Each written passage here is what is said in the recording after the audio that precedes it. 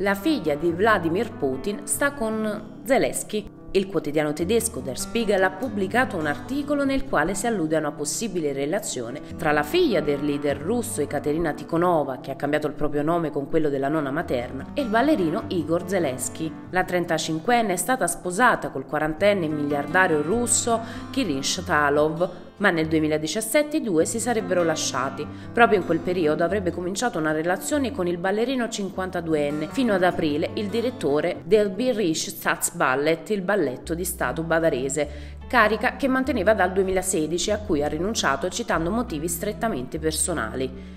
Anche lui sarebbe appena uscito da una relazione con la coreografa Jana Serebriakova e Caterina, 35 anni, e Igor, 52, nel 2017 avrebbero avuto una figlia. La notizia del legame tra i due è corroborata dagli spostamenti aerei di Tikhonova, la seconda delle figlie di Putin avuta con la sua prima moglie Ludmilla, che proprio nel 2017 si era separata dal marito Kirill Shatalov e dalle comunicazioni di una delle guardie del servizio di protezione del presidente assegnato a Ekaterina. Il sito di News Russo riporta infatti di averla vista rientrare in Russia da Monaco di Baviera su un aereo privato, poco prima dell'inizio della guerra in Ucraina, insieme alla figlia, alle guardie di scorta e proprio a Igor Zelensky.